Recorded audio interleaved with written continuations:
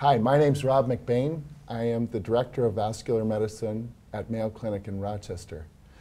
Today we're going to talk to you about abdominal aortic aneurysms, and I'm delighted to have three very uh, esteemed colleagues from our vascular surgical section.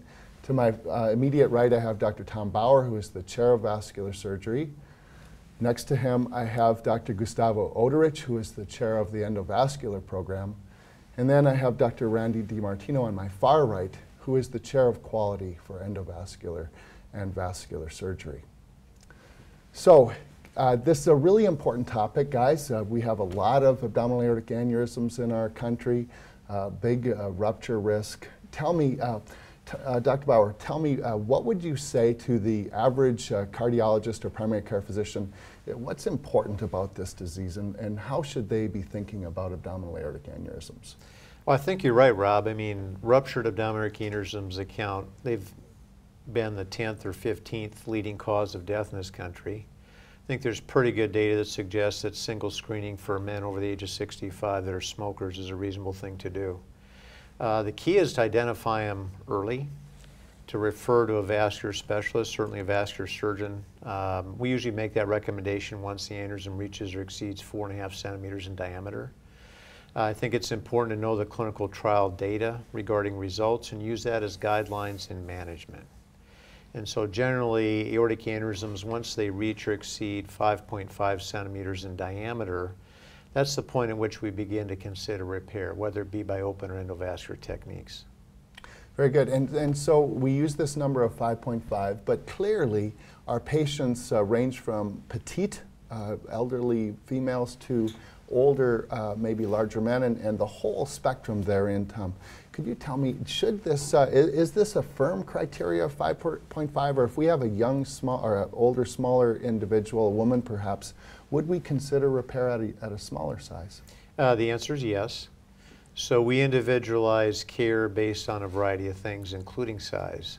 So for someone that's petite, someone that has a family history of abdominal aortic aneurysm or other aneurysms, someone that has a family history of ruptured aortic aneurysms, patients with connective tissue diseases, giant cell arteritis, for example, in women is partic particularly problematic uh, in terms of rupture risk if they have aortic aneurysms. And so we will individualize size criteria based and weight against patient age, comorbidity, life expectancy, and their anatomy for repair. Very good. Now, in recent years, uh, Dr. Oderich, in recent years, we've had a, a paradigm shift in the, the approach to abdominal aortic aneurysms. Uh, open repair and now endovascular repair has become uh, more in vogue, if I, if I could say such. Can you tell me which patients should we be repairing open and which patients should we uh, be sending for endovascular repair and, and how do you decide uh, which uh, you would do for these patients? So there has been a number of prospective trials, Rob, comparing open surgery and endovascular, and pretty much every single of them has shown short-term advantages for endovascular, such as decreased mortality, morbidity, blood loss, faster recovery. The downside of endovascular is on the higher number of reinterventions. So these patients do need close follow-up, and they are subjected to more reinterventions when we talk about aortic-related problems. With open surgery, most of the reinterventions are not aortic related. They are related to the laparotomy, either due to a hernia or bowel obstruction. And they are not insignificant. In the latest trial, is about 15% for each group. So when we talk about endovascular, real, the really issue, real issue is anatomy. We want patients with good anatomy so that these stents are placed in healthy segments of the aorta that are not going to be subjected to migration of the device loss of seal and endoleak. For years, the devices that we had available, they were suitable for aneurysms that had a healthy segment below the renal arteries. The traditional lengths, diameters that we see on the instructions for use are between 10 to 15 millimeters at least of healthy aorta. Now we know a number of predictors that are not associated with good outcomes. You know, the more angulation you have, the more calcium thrombus you have surrounding the renal arteries, those devices don't last long. And treating failures of these devices is more difficult. So I, I would say nowadays, for a patient with an infrarenal aneurysm that has excellent anatomy, endovascular therapy has become the first line of treatment.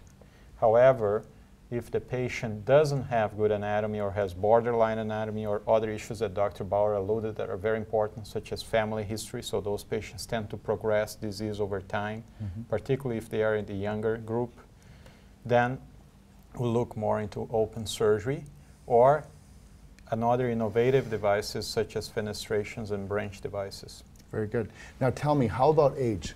How is age going to play into the uh, into this decision making? For example, if you have maybe an 80-year-old uh, individual with a lot of comorbidities, uh, or perhaps, uh, perhaps a 60-year-old individual who's otherwise super healthy, how, how are you? Does does that weigh into your decision making? Absolutely. So when we are talking about the extremes of ages, oftentimes the decision become easier because on the octogenarian, obviously we'll try to do the least invasive approach and we may be more prone to select an, an advanced endograft with fenestrations or branches.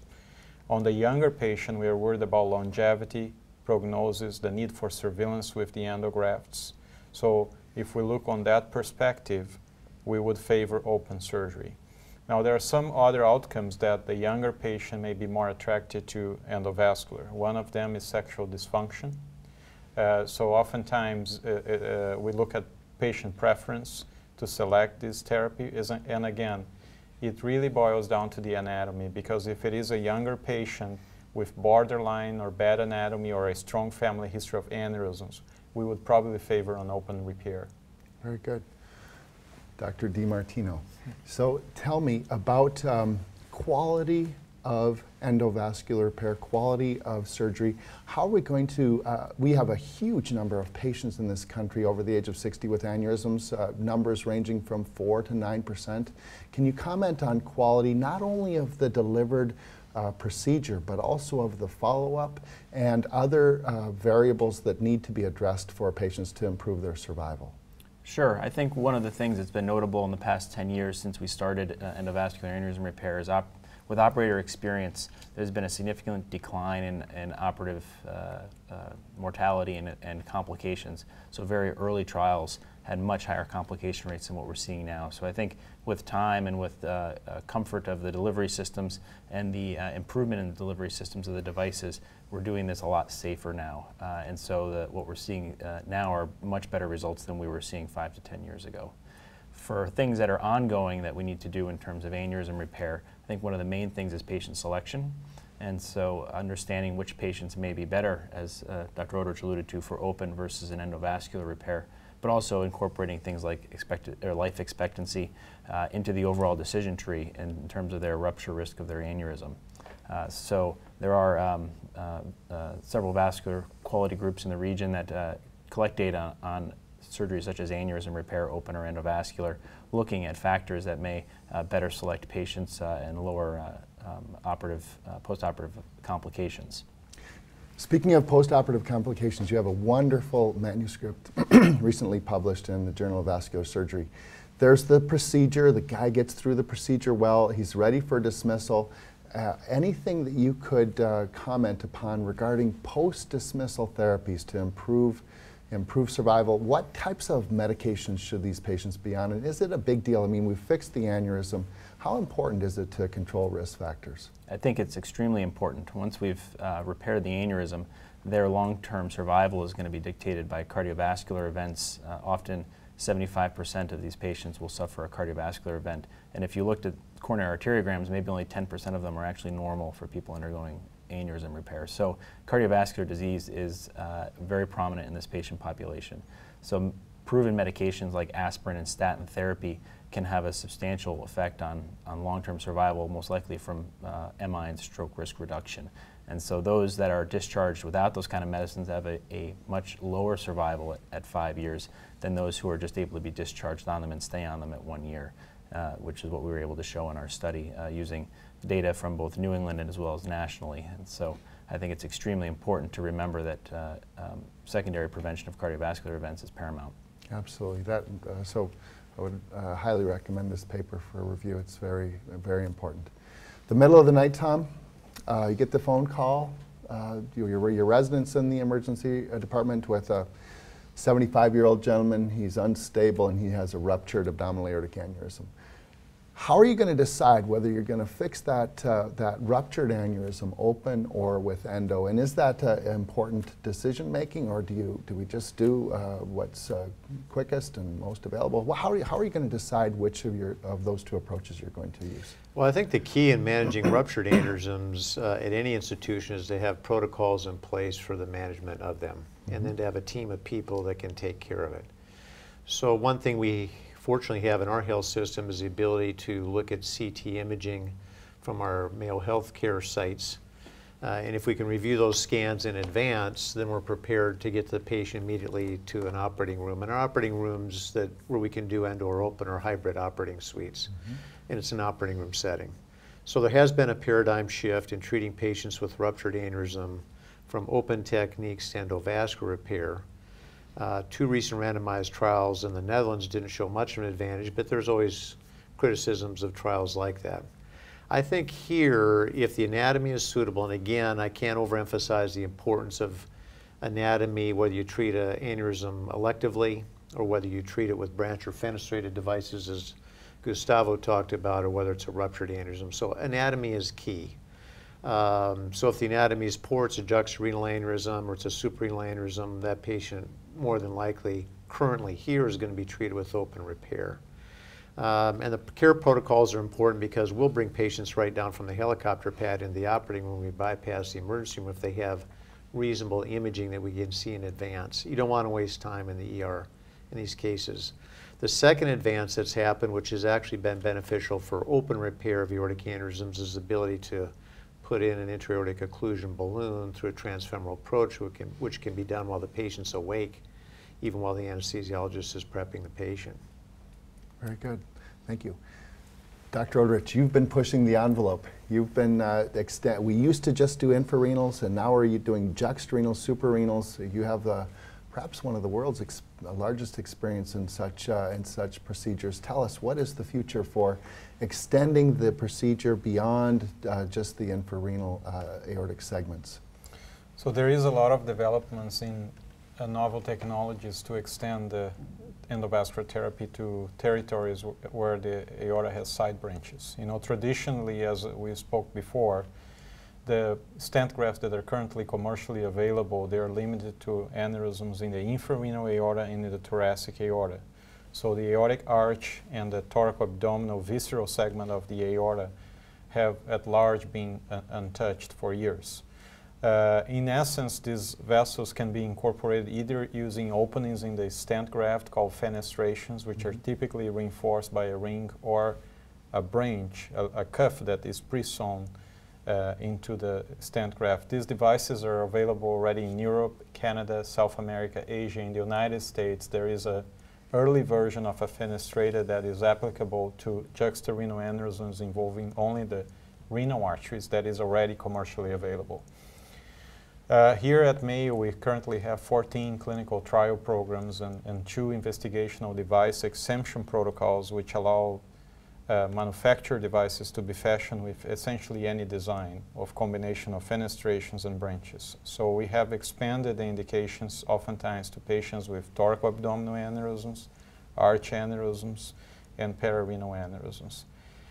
When we decide whether it is a patient is going to be treated by this technology versus open surgery, then longevity of the patient and clinical risk becomes a very important part of the decision making. If the patient is on the younger group and healthy, we still lean towards doing open surgery, but more and more there is an increasing number of patients being treated by these novel technologies. Randy, so you see a patient and he has an aneurysm that may be on the small side, three and a half centimeters. What is going to be your uh, recommendations for follow-up and surveillance of that patient? Does he need to come back and see you every three months, or can the primary cardiologist or primary provider take care of that patient for the interim? Well, I think the primary thing is making sure that there's a surveillance protocol set up for the patient, because one of the biggest uh, predictors of uh, rupture is going to be a gap in surveillance. So even a small aneurysm like three and a half centimeters needs to be at least checked by a year, and then probably yearly thereafter if it's in that same size threshold. If it gets to four and a half or larger, you need to decrease that interval to every six months, particularly if it's the first time identifying it because you don't know what the growth rate of the aneurysm is. even aortas as low as two and a half to three and a half centimeters probably need to be checked within three to five years um, uh, in order to ensure that it hasn't become larger and may need more close surveillance at that time. And what should tip off the clinician that this is an unstable aneurysm, either by physical features, by historical features, or by imaging features? Uh, rapid growth is usually one of the criteria we say is an indication for more urgent repair, and anything more than about 10% per year would be considered rapid growth. Uh, uh, any aneurysm that appears tender or they have abdominal or back pain in the setting of a known aneurysm needs an immediate evaluation. Dr. Oderich, endovascular repair. You have a 65 year old patient and their family, and they want to know with this endovascular repair of their aneurysm, what kind of complication rates might they experience? What, what are the risks for mortality, heart attack, uh, renal failure? What kinds of uh, numbers would you quote them at our institution? Well, uh, we looked at our mortality on the last 1,000 endovascular aortic repairs, Rob, and here is 0.1, 0.2% for mortality rate, which is remarkable. Even when we look at the national trials, that is actually very good for community data, that's under 1% for EVAR. In terms of major morbidity, that's also exceptionally low. I would say that the rate of major complications is under a 2 to 3%. Uh, they need surveillance. We typically obtain imaging with a CT angiography at three to four months, then every six months for the first year or every year. If the CT shows that there is not an endoleak and the aneurysm is decreasing in size, we pretty early go to duplex ultrasound as your primary imaging modality for surveillance. On the long run, there is about a 15 to 20% chance they may have a secondary reintervention. Most of those are for a type 2 endoleak. A type 2 endoleak comes from the lumbar arteries and is retrograde flow into the aneurysm sac. Most of these inter- reinterventions are done by means of percutaneous therapy as an outpatient. Mm-hmm. Dr. Bower, you have a 75 year old gentleman, and he is elected to undergo an open repair for his abdominal aortic aneurysm. What kind of rates of mortality and morbidity would you quote this individual? Well, Rob, as a lead-in, I'd probably say that you know our division has had a long-standing interest in the management of patients with aortic diseases, and in particular, aortic aneurysms. So I think we've really focused over the years in making sure that we have the abilities to do both straightforward and complex endovascular procedures, as Dr. Oderich has alluded to, uh, or open repair. Um, and because of that, we've we've worked hard to gather data and publish in both of these areas, and now we're working on data to compare the two with uh, similar anatomies. So historically, infrarenal abdominal aneurysm repair here in a 75-year-old man that's healthy, uh, his operative risk would be near 0%. Uh, nationally, you'll see data between 2.5 and a 4.5 to 5% mortality rate, depending on where the patient's having the repair juxtarenal aneurysms, which means we have to clamp immediately above the renal arteries for a period of time to sew the graft right at the renal artery origins. In our last publication on that, it was a 0.9% mortality. And then if we move the repair to the base of the superior mesenteric artery, which means we either incorporate or separately reconstruct the renal arteries as part of that open repair, it's about a 2.5% mortality.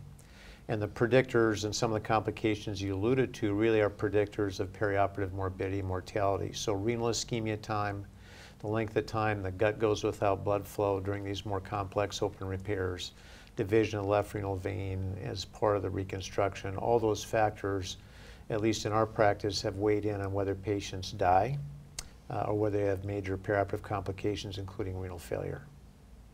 So I think I'd reemphasize a point I made earlier uh, it's good to know the trial data, but you have to know your own results.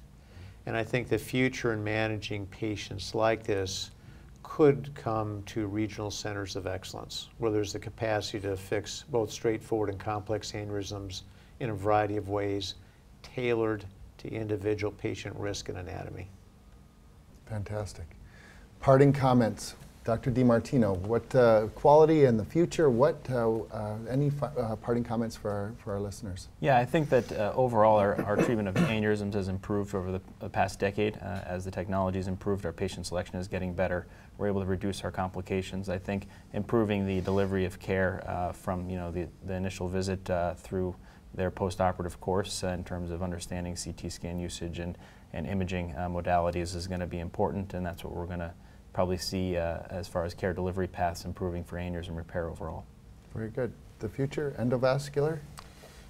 I think endovascular is going to still further develop and, and more and more patients will be treated endovascularly. Rob, there is still a patient that will need to be treated by open surgeon. Open surgery, let's take for example those with connective tissue disorders or at, at extreme young age where a stent graft probably is not going to last in an unhealthy uh, diseased aorta. As our leader and chairman, Yeah. uh, final comments? Well, A, I think this is a very important disease. B, I think what's worked well for us is to have a multidisciplinary team. So I have the uh, fortune of having people like Randy and Gustavo in our group so we can collaborate and talk and share about patients and determine the key things. Patient selection, which Randy's already alluded to, anatomy, which Gustavo and I have both stressed significantly, and I think it's important to know your own results. Um, you know, here we're seeing a growing number of EVAR explants, both for infection and endoleaks around the proximal or distal attachment sites. So you have to be able to take care of the patient from the beginning. And probably healthcare in many areas of vascular disease, Rob, is headed towards managing chronic comorbid conditions over a continuum, which gets back to some of the points that Randy made. And I think the more that we can collaborate, have a multidisciplinary team to approach patients like this, and push to get the best results with the highest quality, and then manage those patients long term, those are really going to be the keys for managing patients with aneurysms and other vascular problems. Thank you all. I, uh, thanks for all your expertise and comments this morning. Thank you, the listener, for uh, being with us uh, today. And I want to refer you to theheart.org if you have any uh, interest in, in watching uh, further presentations of this and other diseases. Thank you for listening.